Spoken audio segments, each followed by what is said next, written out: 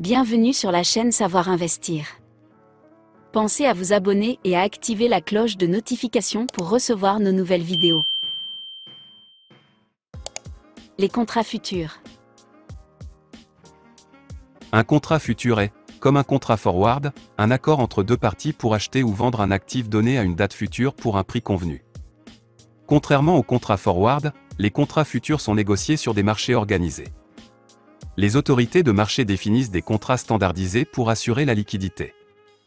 Comme, dans ce cas, les deux parties prenantes d'un contrat ne se connaissent pas, il existe un mécanisme qui permet d'assurer à l'acheteur et au vendeur la bonne fin des opérations. Les marchés de contrats futurs les plus importants sont, aux États-Unis, le Chicago Board of Trade, CBOT, et le Chicago Mercantile Exchange, CME, et en Europe le LIF et le REX.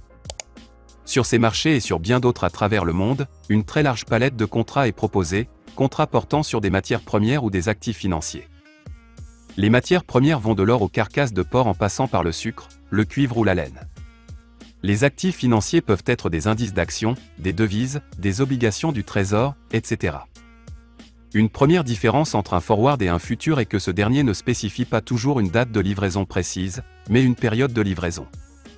Une des spécifications d'un contrat futur est le mois de livraison, et les autorités de marché, en France, l'entreprise de marché, définissent la période de livraison autorisée dans ce mois.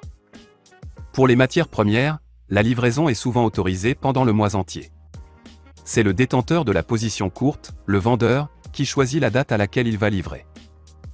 Les autorités de marché spécifient aussi la quantité de sous-jacents par contrat et la façon dont le prix futur sera coté.